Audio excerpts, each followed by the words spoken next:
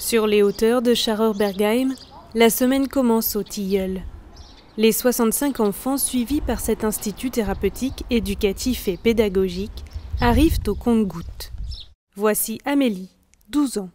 Elle va poser ses valises ici pour deux nuits avant de retourner dans son foyer. Je vais vous présenter ma chambre, bah, mon bureau, mes deux lits, une armoire qui est là-bas. Et euh, bah, c'est tout. Et alors, qu'est-ce que tu aimes bien ici pour cet espace-là? Euh, mes deux lits. Parce que bah, je peux me tourner dans tous les sens, je tombe pas. Donc ça, j'aime bien. Pour les enfants de la résidence 2, direction l'école de l'Institut. On essaie de passer une bonne matinée.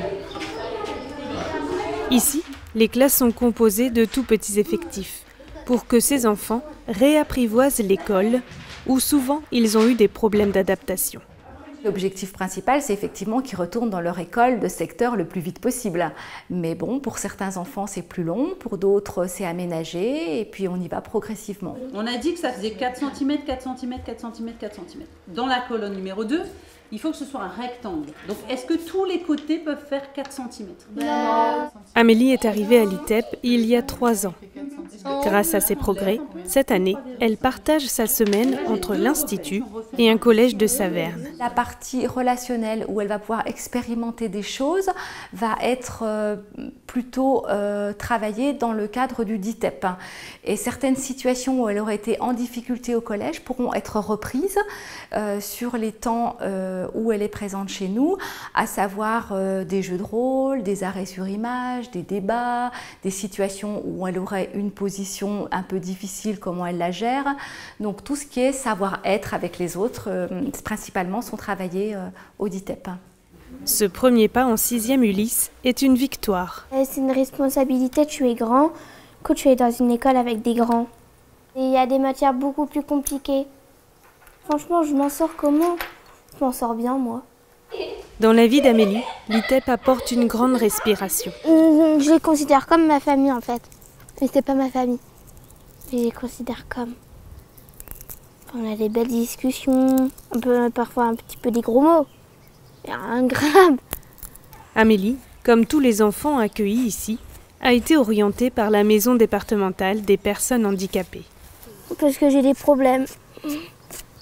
Des troubles de comportement. S'ils se voient pas, et mais j'en ai.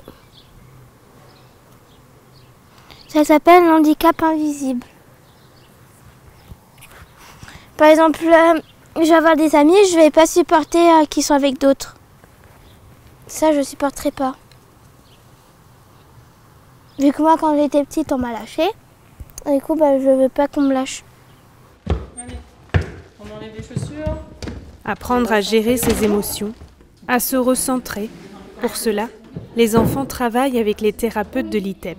Ils ont beaucoup plus de mérite à réussir parce que justement la vie les a pas aidés euh, à des moments où la vie a été un petit peu plus compliquée pour eux.